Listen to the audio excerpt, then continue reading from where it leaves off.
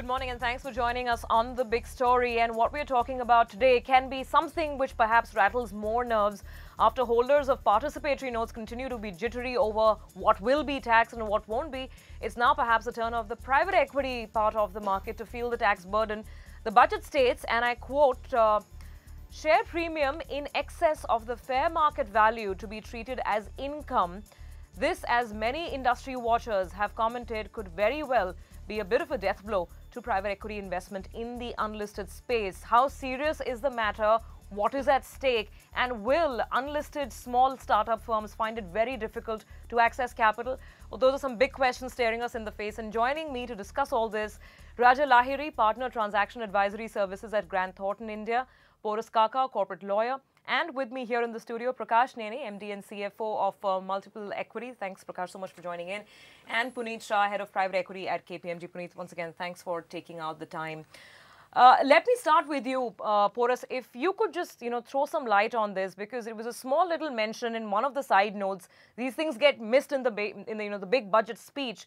But is it as clear as what we think right now that any investment com coming into an unlisted startup firm or unlisted firm anything which is valued above face value or fair market value will now attract income tax? Yes, if you are not able to explain it substantially to the officer and you fail the test which is laid down which is an asset based test.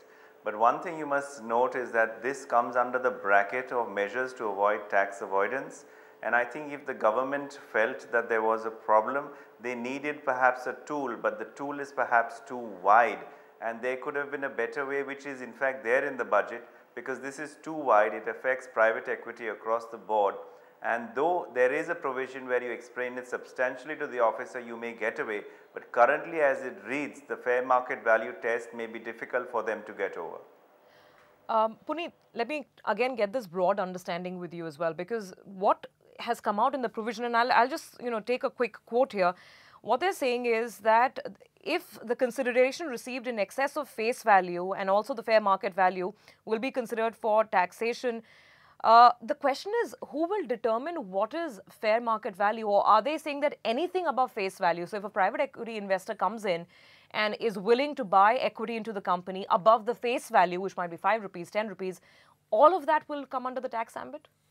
Uh, I think uh, there are uh, two points which I would like to make. First of all, uh, the provision applies to residents only and therefore uh, it's a matter of debate whether the offshore private equity investors would be uh, hit by, by uh, this amendment. So, that's, that's number one. Uh, so far as residents are concerned, yes, they are supposed to uh, justify the share premium uh, which they are going to put in in the unlisted companies and they have prescribed two methods. One is the book value based method and second is any other method which an assessee can substantiate with the tax officer and therefore, it is quite subjective in that sense. So, obviously the assessee, the resident assessee has to uh, explain to the to the tax officer as to the justification as to why the amount has been put uh, at a higher premium than what could be justified as per the share valuation as per the prescribed methods. But I just want to go back to the first of those points. The first and foremost clarification that is required is whether this will apply only to private equity and venture cap funds based out of India or offshore. You're saying it appears right now that it will apply only to domestic based funds. That's right. Let me let me clarify that. Mm -hmm. uh, first of all, that particular provision applies only to uh, domestic uh, investors first of all. So, it does not apply to overseas investors number 1. Number 2, even under domestic investors, uh, they have carved out uh, exception for the domestic venture capital fund mm -hmm. and therefore, it would typically apply to angel investors kind of thing, those who are not registered with SEBI, so to say. Okay. And okay. therefore, it seems to be a clear attempt mm -hmm. to drive several unregistered investors to go and get registration with mm -hmm. SEBI. So I think I think that's one way of looking at it. Number one. Okay. Let me try and get yeah. that same interpretation from Raja as well. Raja, how have you interpreted what has been announced? Let's go to the bare basics. Whom will this apply to? Angel investors, private equity firms, only investors based out of India or perhaps there's also some kind of a subclause hidden somewhere that may bring foreign investors also under the ambit? So in my view, I think, uh, you know, what Puneet said, I completely agree, agree with him uh, in the sense that this completely makes sure that, you know, the domestic venture capital funds and the private equity funds which are registered with SEBI, uh, they are actually outside the ambit of this clause. Uh, but you know what's interesting to note is, uh, you know, clearly the angel investors clearly come under this uh, ambit, uh, which which means that you know if you're making an investment in, let's say, tech companies like the e-commerce companies, you know, fair market value is really is really uh, is anybody's guess. So there could be a substantial amount of premium inbuilt there. So we could definitely have some interesting debate and litigations around that. But the other aspect is um, is uh, if, if you're talking about portfolio companies of private equity funds operating in India, and if they make strategic investments in, in other companies uh, as a strategic equity stake, uh, this clause could, could potentially be applicable. Uh, and, and, and that's obviously a cause of concern for some of the larger funds. Okay, so I mean, basically, what you're trying to suggest is, and I'm just taking a name here only for example, only for reference, absolutely no intent otherwise. But let's say, for example, if uh, Blackstone India makes an investment in an Indian unlisted entity, then that could be under the tax ambit. Is that the point you're trying to make? No, what I was trying to say is that if, if, if a, a private equity fund invests in a portfolio company and that portfolio company takes another equity stake in, in, in another company, you know, as part of a strategic acquisition, uh, in that case, the share premium clause could, could be applicable. And that's something which does not affect the private equity funds directly, but it affects the portfolio company of the private equity company. Okay, got that. All right. Uh, Prakash, your reading, uh, how serious yeah, is this? No, I think this is quite serious because uh, I heard, uh, I mean, these gentlemen, I have also heard some other lawyers and who have been talking about it. There are a lot of ambiguities in the whole thing.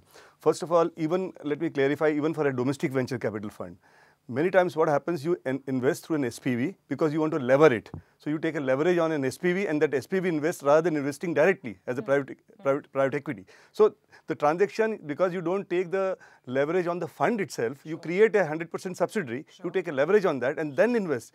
So when the SPV invests, that's not covered here. They have not said directly or indirectly uh, domestic venture capital is out. So that's concern number one. So you're saying that's an ambiguous area. You don't know what happens if the investment is routed through the SPV. Yes. Number two, okay. uh, the, the very fact is that most of the private equities nowadays, when you invest in a company, and we have also been investing, what happens that you look for some M&A transaction. Mm -hmm. You want to bulk up the companies, you want to make sure that the companies in the similar kind of, uh, different kind of skills, they come, come in the set, same set. So M&A is one primary objective of entering to a private equity investment into a domestic portfolio company so that they grow up. Sure. So those things, obviously, they come into this uh, entire picture. Mm -hmm. Now, as far as the foreign funds are concerned, again, foreign funds can invest through an SPV, then mm -hmm. the mm-hmm. first question remains. Mm -hmm.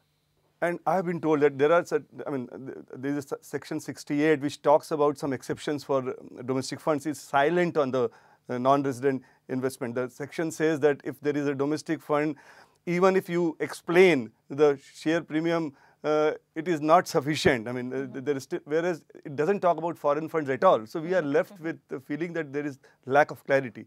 So overall, there are many other issues, but mm -hmm. specific to these issues, we, we, remain very concerned. So just to reiterate what the point that all our experts are making, that yes, life is going to change because there will be a tax. If you're an unlisted company and you're getting in any kind of strategic equity investor, a private equity investor, then whatever premium this investor is paying you on that premium, yes, there will be the tax. But Porus, now moving to the second point, how much tax? Who is to determine what, what you know, contributes towards the premium? What is fair value?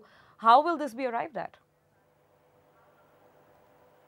Well, the fair value is laid down in the provision and unfortunately the only safety valve which is you can explain it satisfactorily to the officer is again linked with the fair market value test.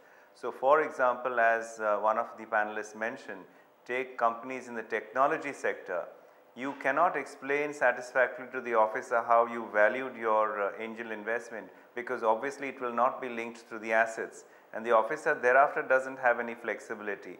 So, I think that definitely is a problem. And when you look again coming back to what I said earlier, the objective is undoubtedly laudable to prevent the, the rotating of unaccounted money. But I think the remedy is too wide and perhaps what we need to look at is already within the same finance bill, there is a provision under which resident companies are required to show the source of the source of their investors, the credit worthy of their Indian investors and I think that provision will be sufficient because you are shifting the onus etc etc. Thereafter you create a new provision to tax the share premium which is too wide which may affect private equity may not be required. So perhaps the remedy is too wide and coming back to your answer the tax will probably be at 30 percent of the, of the, of the premium value if that is to be taken as, as, as uh, tax, taxable income under section 56. So we need a, we need a little bit more safety measures if this provision is to remain at all. Consider whether really the amendment to 68 suffices and you do not need an other measure. If you still require this then I think you need to give other mechanisms for valuation and flexibility to show that when there is a genuine private equity investor that person does not get caught in the tax net. I'm just quoting from a VC release here, and Puneet, I want you to come in on this. Obviously, I mean, people are very upset out there, and, and, they've written, and I'm quoting them, this will kill angel investing and give birth to stillborn startups in India. Is it as drastic as that? Uh, let me let me just uh, clarify a few things because I think there are two amendments which have happened simultaneously under section 56 and as Prakash mentioned under section 68 and therefore this confusion and I think Porus rightly mentioned that at least you will get caught in one of the sections. Mm. So, if you look at section 68, it always existed on statute, okay. which actually said that any credit, any any credit, whether it is share capital, whether it is premium, could be taxed as income if the assessing officer comes to conclusion that this cannot be explained by the by the taxpayer in so India. How, how how was that taxpayer explaining it till now? So it's like it was like I wouldn't say the dormant uh, kind of section, mm -hmm. but it was not very uh, widely used uh, by the tax officers. Of course, it was used mainly for mm-hmm. intercorporate loans in India and stuff like that. Okay. But any of these amendments now is putting spotlight on these kind of transactions and mm-hmm. therefore uh, tax office uh, revenue authorities may become more aware in okay. terms of uh, mm -hmm. the need to mm-hmm. uh, to take shelter under any of these sections. Sure, sure. So that was section so 68 that, which always existed. That's right. And what an amendment has been made is that if resident again uh, puts in money like that, in that case the uh, the the receiver of the money has to explain the source and the source of the source. So that's the only amendment which has been made, and therefore again, so to say, overseas investors are spared in that sense from the uh, amendment of section 68 as well. Mm -hmm. However, the original position remains that they are always subject to an explanation or subject to uh, clarification uh, uh, by the by the uh, revenue authority. So that that position always remains number one. And so far as these comments are concerned, uh, I think one good thing has happened is that both under section 56 and 68 the venture capital funds, domestic venture capital funds are kept outside okay. the purview of both the sections in that sense. So if a domestic venture capital fund is making an investment in a company A, an unlisted company, That's then right. these provisions don't apply? That, then they do not apply. It is a registered venture capital That's fund. Right. Registered venture capital funds. Registered and unregistered. Yes. Sure, so the people sure, who are registered with SEBI, yes. those kind of registered venture capital fund is what he means. And, sure. and, and that's why I go back to my original point that uh, it will certainly encourage mm -hmm. uh, registration with SEBI and I think uh, that's one way, it's it's the right way to look at the entire uh, so, industry so in that then, uh, Prakash, what is the big hue and cry over then? I mean, at least for venture capital funds, you register, you can still invest and there's no question of taxation. Then what's the hue and cry? You know, there is a huge problem. I mean, registration also gives you a lot of constraints. Mm -hmm. A registered venture capital fund can invest only in unlisted companies 66%, 33% only in listed companies. They cannot. There are a lot of do's and don'ts, uh, don'ts for the uh, for the registration. You cannot invest in NBFC. You cannot invest in many other things. Mm -hmm. So people who are angel investors, people who want to really people who want to do venture investing in the real sense, tech sector in those areas, New ideas, they, they, yeah. they don't want to get uh, caught into these kind of so many restrictions. There's a lot of filings and restrictions. You don't want to get into all that. Mm -hmm. And those are the those are entrepreneur kind of people who want to really back a particular idea. Sure. Now, now as everybody is saying that the section says it is asset. Amendment also says, okay, if it is not fair value based on asset, you can still have it, but it should be franchisee, licenses, all those things again are goodwill asset related no mm -hmm. but normally venture capital what happens you are making losses for 3 4 years and okay. you continue to make losses you'll never have let me let me get in raja into the conversation back again. Raja you've been hearing both sides of the argument. I mean there's this one thought process which says that if you're a registered venture capital fund then really nothing's really changed for you. But then the counter argument to that is that you know it really inhibits the kind of investments that you can make. So how serious is this impact going to be you think so in my view, uh, I think as you rightly pointed it out, uh, this, this possibly impacts the angel investors. Uh, as of now, you know, given, given some of the conversations that I've been having with other funds, uh, you know, if you're, if you're re really SEBI registered, this, this clause doesn't really apply. Uh, however, you know, if, if you're looking at angel investors who are really focused on the tech sector, the e-commerce sector, you know, you know these kind of intellectual property kind of focused uh, sectors, this section definitely impacts. Uh, and, and, and, and the beauty of this clause is that you know the section does not really talk about how do you determine the fair market value. And as Prakash rightly said, you know it's very difficult to actually assert fair market value because some of these companies would be at losses. So you know you know you, you got to have a very specific section or a, or a guidance in terms of how you value some of these companies. And me, uh, you know, personally having looked at valuations, it's a very subjective subject here. Sure. So, so I think the angel investors definitely get impacted. Uh, I per se don't see uh, significant concern for the domestic SEBI registered funds at this stage. Um, uh, but, but yes, uh, you know, uh, the angel investing uh, is going to take a Sure, take concern sure. and a hit. You know, be- before we go back to Porus for a last word, I just want the um, the other experts to come in on this. We've discussed in- angel investing. Uh, what about private equity? Uh, Raja, do you want to take up on that as well? I mean, what are we really talking about? If there is 30% tax, if this starts getting treated as income, do you see deals drying up even more or people having, you know, more of a second thought? As far as private equity is concerned, I don't think this section is going to impact uh, private equity transactions. Uh, I think I think this section directly impacts the angel investors. So as far as private equity deals goes, I, I don't see uh, a major impact. Impact. I think, as I said in my earlier comment, uh, if if a portfolio company of a private equity fund is going to make some strategic investments or doing an M&A, I think that could be a, a, a cause of concern. Uh, and and and uh, you know the objective of the section is to really uh, track unaccounted money, but not to prohibit M&A. So we have to see how that pans out really. Is that how you're seeing it as well? Yes, and I uh, maybe a couple of more comments. First is that tax is not the only mechanism whereby you would try and discourage this kind of uh, investments. I mean, if you want to discourage black money, if you want to discourage hot money, volatile money, whatever you say, there are other mechanisms under SEBI regulations, RBI regulations, round tripping issues, etc., which you can always. Uh, there are KYC norms uh, which regulators put in. So I think those were the measures where you could try and ensure that the money which is coming in India is clean money. It's not uh, volatile money kind of thing. What about your reading on what it does to private equity M&A in the country?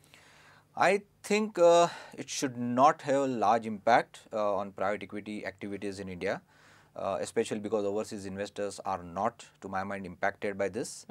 Um, of course, as I said, Section 68 always exist, uh, existed on the statute, and I am I am aware. Um, in some cases, definitely the tax office has invoked that particular section to examine the source of the share capital which has come into Indian uh, companies.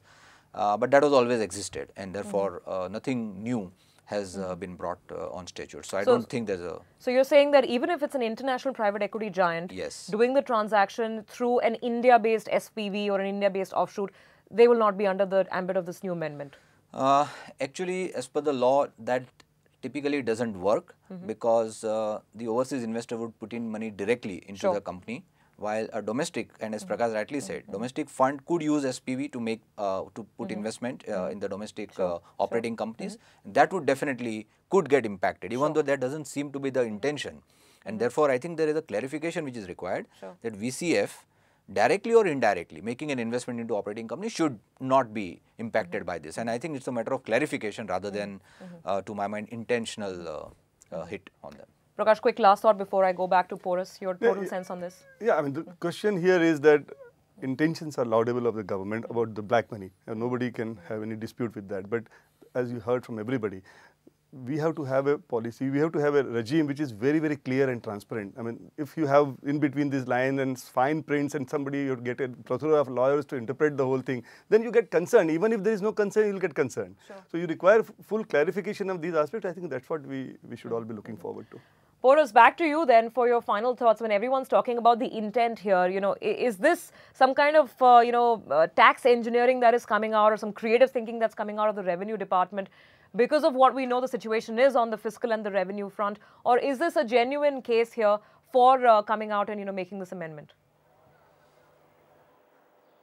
Well, obviously they must have come across some transactions under which they have found share premium perhaps disguising unaccounted money.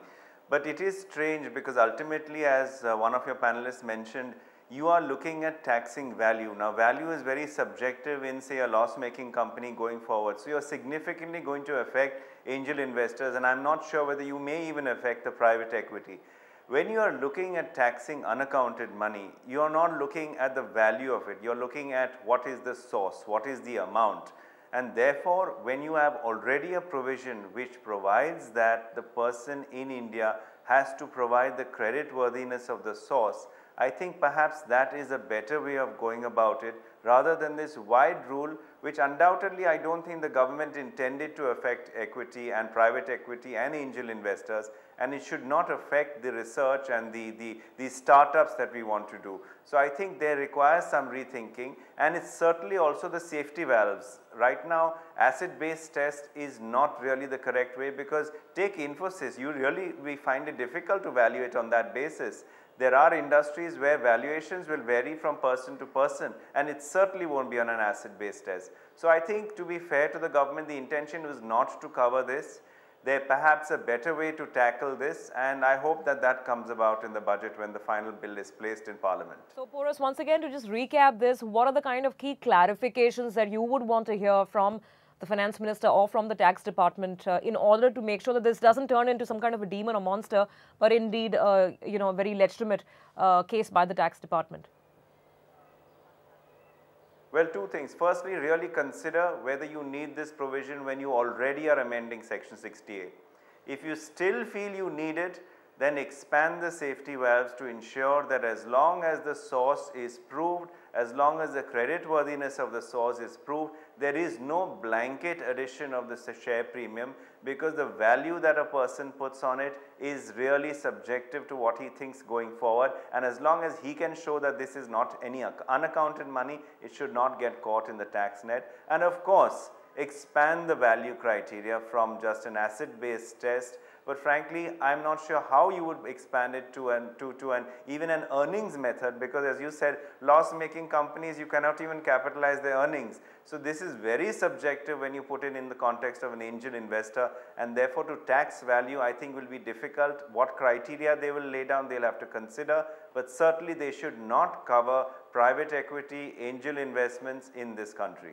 All right, tax black money or unaccounted money if you have to, but perhaps leave out genuine value that is being created by innovating companies. Gentlemen, thanks so much for taking out the time and being with us. Porus and Raja, thanks for taking out your time. And gentlemen, thank you, Puneet and Prakash. Appreciate your thoughts. Of course, it's an issue that we've not seen the last on for sure. The debate will perhaps continue going on. Absolutely. Well, that's it on the big story for now. Thanks for being with us.